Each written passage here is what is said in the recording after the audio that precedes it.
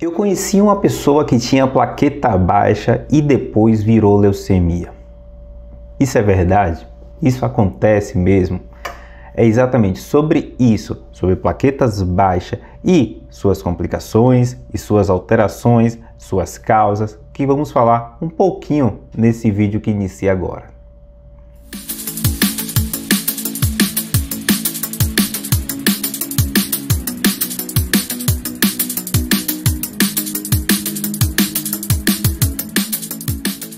Olá, meu nome é Jeidson Cruz, sou hematologista, criador e editor do canal de hematologia Hemato na Web. Vamos ficar aqui alguns minutos, importantes minutos, falando de algo importante e relevante para você, para o mundo da medicina e para hematologia, essa área médica, essa especialidade maravilhosa que tem uma vastidão de conhecimento, que tem a sua complexidade, mas que o propósito do canal de hematologia é tornar esse conhecimento mais acessível e conhecido para você de forma simples, mas de forma bastante responsável e, claro, confiável.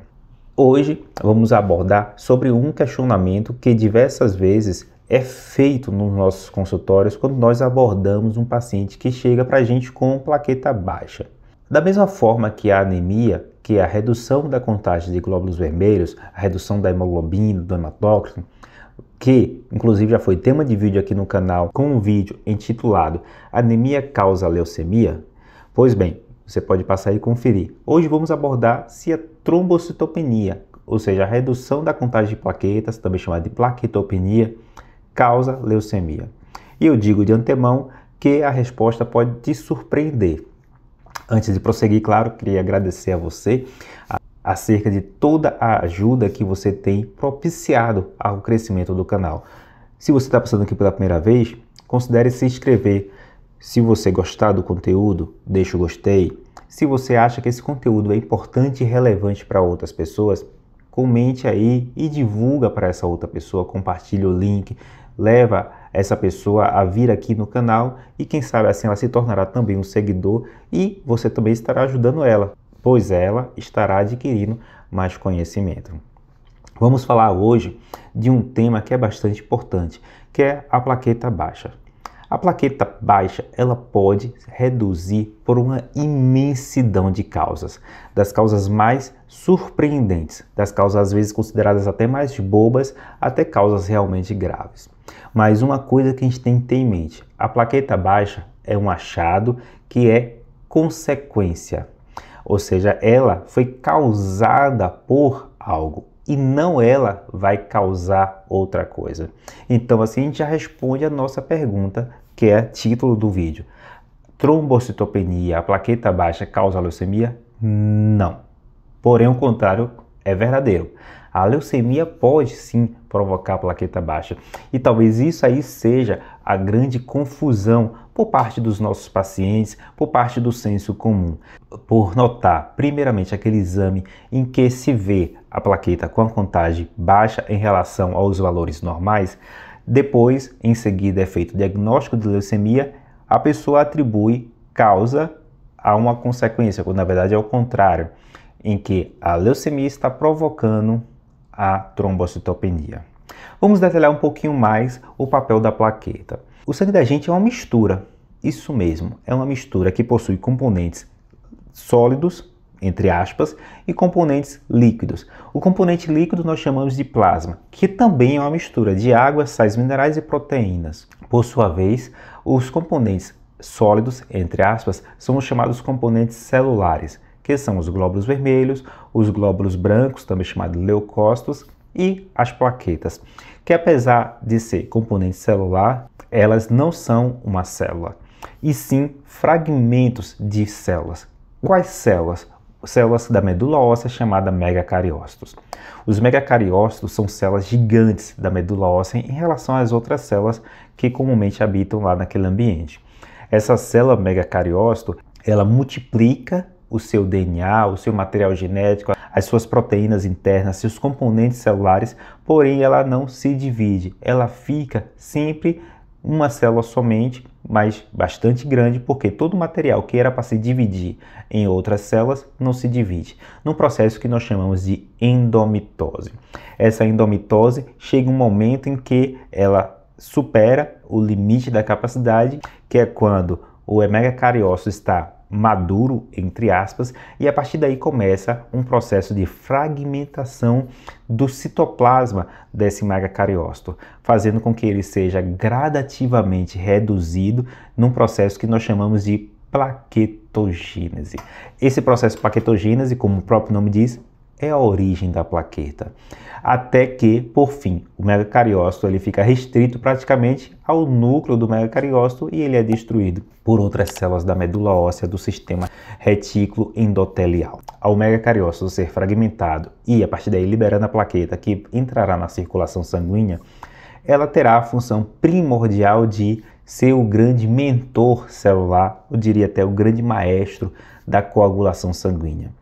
Então, ela possui um papel fundamental na manutenção do sangue do seu estado normal, ou seja, o, seu sangue, o sangue no seu estado fluido, permitindo que a pessoa não tenha hemorragias, por exemplo.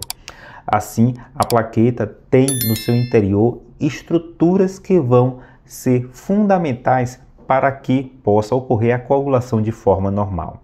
Elas possuem um citoesqueleto que é próprio para coagulação e possui uma série de grânulos no seu interior, os grânulos alfa e os grânulos denso. Os primeiros com componentes proteicos e os segundos com componentes chamados não proteicos.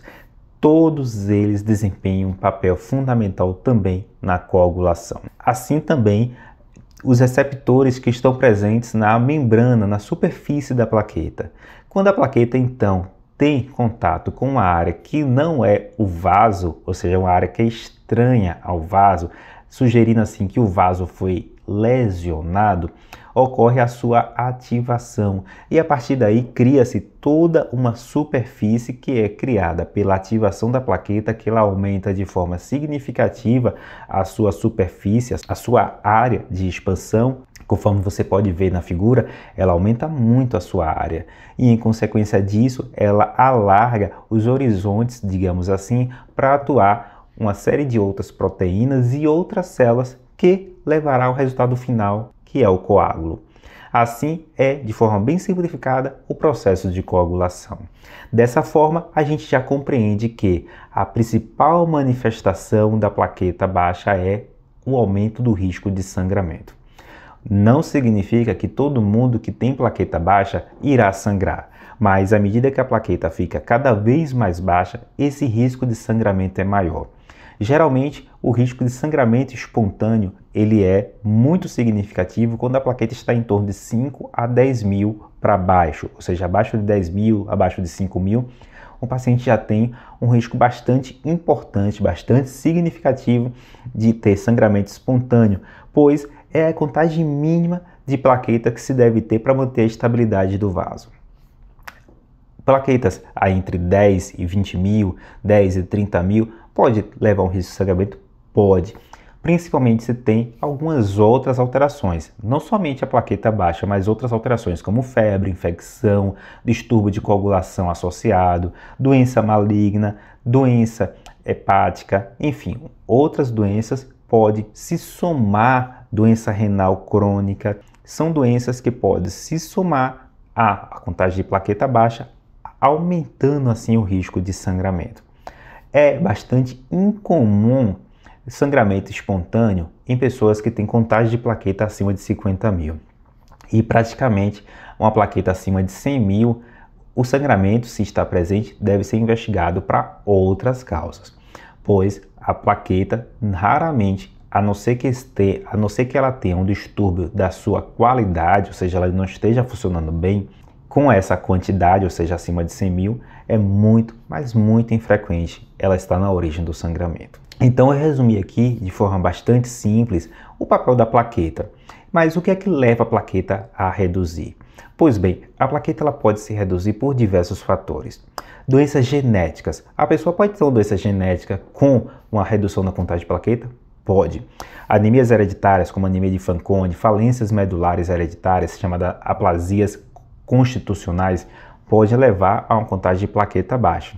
Felizmente essas doenças são raras, mas a gente tem que ficar atento que pode ocorrer. E uma das manifestações mais comuns é que essas começam desde a infância, pois são doenças genéticas. Pode ocorrer o surgimento da plaqueta baixa na idade adulta? Pode, mas como afirmei, por serem doenças genéticas, as suas principais manifestações ocorrem de forma mais precoce. Deficiências nutricionais, dentre elas principalmente as deficiências vitamínicas, pode levar à redução de plaquetas? Pode. Deficiência de B12 e outras vitaminas, como por exemplo ácido fólico, pode também levar numa situação que nós chamamos de anemia megaloblástica, que apesar de seu nome anemia, pode ocorrer pancitopenia, redução de todas as células. E a plaqueta também pode estar reduzida. Outras doenças, como doenças do fígado, doenças dos rins, pode levar à redução de plaquetas? Pode também. Dentre elas, a gente tem que destacar aí, na verdade, pacientes que são portadores de doenças do fígado, como as que, que nós denominamos de hepatopatias crônicas. Pacientes portadores de hepatopatias crônicas, eles podem ter a plaqueta reduzida por si só, por causa da hepatopatia, mas também por consequência do problema do fígado, que leva a um aumento do baço. E esse aumento do baço leva a um sequestro, uma reserva da quantidade de plaquetas dentro do próprio baço e a destruição delas nesse órgão. Assim, numa situação que nós chamamos de hiperesplenismo, pode levar à redução da quantidade de plaqueta também. O baço, ele é não somente o órgão de destruição quando está presente na hepatopatia, ele pode também estar em outras doenças em que há o aumento desse órgão ou da sua atividade e, em consequência disso, tem uma redução também da contagem de plaquetas. Doenças reumáticas, doenças inflamatórias, são doenças também que levam a uma redução da contagem de plaqueta. Assim, não é incomum portadores de lúpus eritematoso sistêmico, portadores de doenças autoimunes, vasculites, terem redução das plaquetas. E doenças infecciosas, Jetson, pode reduzir a contagem de plaqueta? Pode. A gente vê corriqueiramente nas epidemias que temos no nosso país, de dengue, por exemplo, que a gente tem muita preocupação com a situação que nós chamamos de síndrome do choque por dengue e também do dengue hemorrágico. Uma das principais manifestações dessa doença em que é mais grave é a redução da contagem de plaqueta, mas ela não é exclusiva do dengue, ela pode ocorrer em outras arboviroses como chikungunya, como também a própria zika vírus, mas também outras doenças virais pode levar a uma redução da contagem de plaqueta. Então, viroses, doenças infecciosas bacterianas, doenças é, fúngicas também podem levar à redução de plaquetas. Tem alguma relação com a gravidade? Às vezes sim, mas nem sempre. Doenças bacterianas, por exemplo, em que tem uma redução da contagem de plaqueta, pode significar uma alteração em que o paciente tenha uma manifestação clínica mais grave ou até mesmo de um quadro séptico, ou seja, quando a infecção é generalizada, pois a redução de plaquetas ocorre de forma que não é infrequente nessas situações. E quando se usa algum remédio, pode também ter redução de plaqueta. E aí é um mundo. Medicações anti-inflamatórias, medicações analgésicas, medicações antibióticas, medicações quimioterápicas. Enfim, diversas são as medicações que podem levar a uma redução de plaquetas. E aí eu tenho que avaliar criteriosamente, antes de dizer que é o remédio apenas, se não há uma outra causa da redução de plaquetas para que eu possa dizer com certeza que é da medicação e aí avaliar criteriosamente. E aí fica uma coisa que é bastante importante ser avaliado é que não necessariamente todo paciente que tem redução da contagem de plaqueta por causa do uso de alguma medicação, eu tenho que suspender essa droga. Eu tenho que ponderar o risco e o benefício que aquela droga, que aquela medicação está me trazendo, com o risco de você ter uma redução da contagem de plaqueta. E geralmente esse risco é ponderado como? Aquele risco de sangramento. Se o paciente tem um risco maior de sangramento, eu tendo a retirar a droga. Se o paciente tem um risco que é mínimo de sangramento, eu tendo a manter a droga porque o benefício dela é melhor. Claro que eu não poderia deixar de falar das doenças hematológicas e também das doenças malignas. Existem doenças hematológicas, inclusive doenças benignas do sangue, que podem reduzir a contagem de plaqueta, como é o caso da hemoglobinúria paroxística noturna, como é o caso da aplasia de medula, também chamada anemia plástica, em que pacientes portadores dessas doenças podem ter redução da contagem de plaqueta e a medula óssea não tem malignidade. Por outro lado, doenças malignas do sangue ou de outros órgãos que estão afetando o sangue ou estão afetando a medula óssea pode levar à redução da contagem de plaqueta. Enfim, a redução de contagem de plaqueta é um mundo e pode ocorrer por diversos motivos, mas uma coisa é certa, ela não causa leucemia. Por outro lado, o problema que está levando à redução da contagem de plaqueta, sim, pode levar à leucemia, como é o caso das síndromes mielodisplásicas, que inclusive já foi tema recente de um vídeo aqui no canal, você pode passar e conferir também. Assim, a contagem de plaqueta é apenas um achado diante de todo um mundo que pode inclusive ter uma doença maligna por detrás, como é o caso da leucemia, que é objeto de muita preocupação que, como afirmei no início do vídeo, leva muitos a interrogarem se a plaqueta baixa não está causando leucemia. Mas a gente tem que ficar atento que, na verdade, ela pode ser o sinal e não necessariamente a causa. Dessa forma, ela é consequência. E aí, você sabia de todo esse papel que a plaqueta tem, que desempenha no nosso organismo? Pois é, é um papel complexo, mas é muito interessante. Claro que eu falei apenas de forma bastante sucinta e espero que você tenha compreendido. Se você não compreendeu algo, diga aí, fiquei até o fim e não entendi isso. Detalhe melhor, pois eu vendo esse comentário, eu vou querer então detalhar algo para que você não fique com dúvida. Espero que vocês tenham gostado do conteúdo. Se você gostou, deixa aí o gostei. Se você não gostou, comente aí também, ó, faltou isso, por isso não achei tão legal.